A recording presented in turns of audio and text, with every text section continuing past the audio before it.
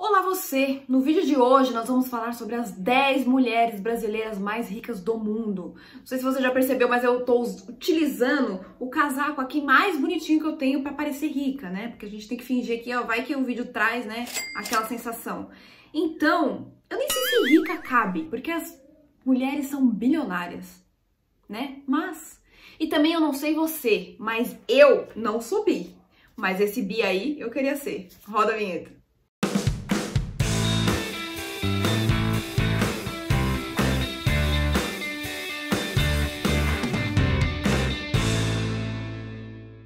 Bem, muito prazer, meu nome é Rafaela Liprandi. Nesse canal você vai aprender a investir do zero, ter dicas de viagens, tem dicas LGBTs e muito mais. Então se você não quiser ficar de fora, se inscreva nesse canal para que você fique por dentro de todas as novidades. Muito bem, em décimo lugar temos a Anne Verninghaus.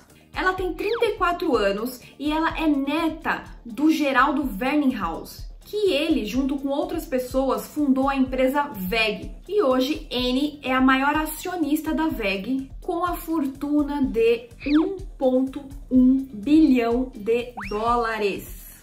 Em nono lugar temos Lili Safra.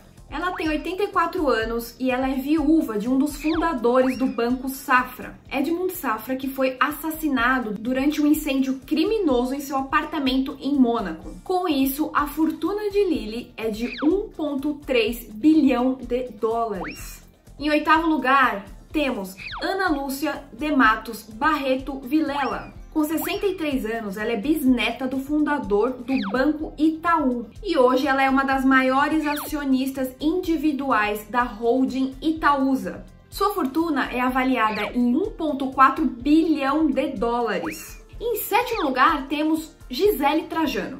Essa pessoa eu nem sei se existe. Na verdade, ela existe porque ela tá na lista da Forbes. Mas assim, eu não encontrei foto dela, eu não encontrei a idade, não, não dá pra você achar nada dessa pessoa mas ela tá na lista da Forbes. E ela é neta dos fundadores da Magazine Luiza, junto com mais quatro membros da família que também possuem ações da empresa. A fortuna dela é de 1,4 bilhão de dólares também. Bom, eu queria pedir o seu like se você já está gostando desse vídeo que eu estou tentando trazer de uma forma mais animada. Não um vídeo tão chato, né? Como a gente vê tantas coisas, só foto das pessoas e tal.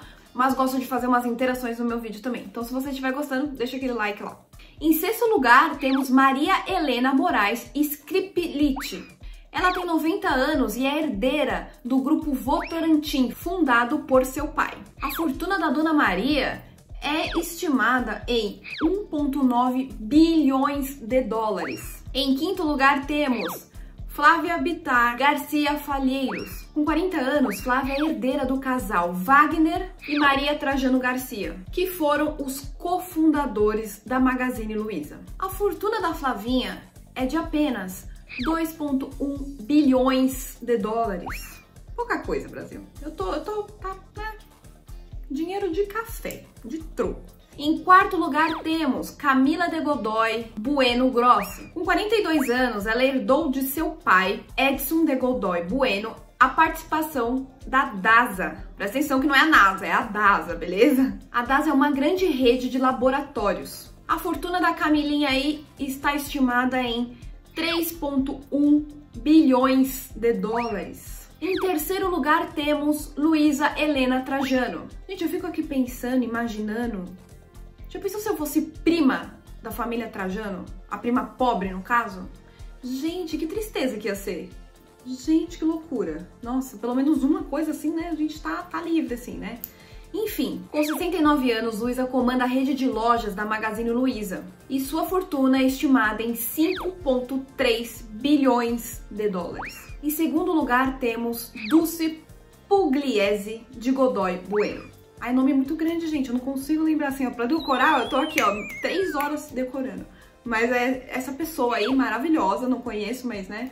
Se quiser ser amiga pra no dia do calor compartilhar sua piscina, eu tô dentro. Super me chama. Inclusive, não sei se você notou, mas a Dulce é a mamãe da Camila, que está em quarto lugar aqui neste vídeo. Dulce, junto com seu ex-marido, fundou a rede Amil. E após a venda da rede Amil, os dois apostaram no grupo DASA. E com 73 anos, Dona Dulce tem a sua fortuna estimada em 6 bilhões de dólares. Agora vamos para o primeiro lugar dessa lista, que é liderado por Vicky Safra. Com 68 anos e após a divisão da herança do banqueiro Joseph Safra, ela se tornou a mulher mais rica do Brasil, com 7,4 bilhões de dólares. Bom, é isso, né, Brasil? Alguns têm sorte, outros ganham na raça, e assim é a vida e assim é o capitalismo. E eu aposto muito na Luísa Trajano. Eu ainda acho que ela tem muito potencial para crescer. Mas agora eu quero saber de você. Você acha que a Luísa Trajano tem potencial para passar a Vicky Safra? Ou você acha que outra mulher pode assumir esse primeiro lugar? Me conta aí nos comentários que eu quero saber a sua opinião. E desde já agradeço você ter assistido até aqui. Obrigado, beijo de luz e até o próximo vídeo. Tchau! Em oitavo lugar, temos Ana Lúcia de Matos Barreto Vilela. O nome grande, hein? Pelo amor de Jeová. Em quinto lugar, temos Flávia Bitar Garcia Falheiros. Flávia Vitar. Vitar não. Ai, meu Deus, socorro.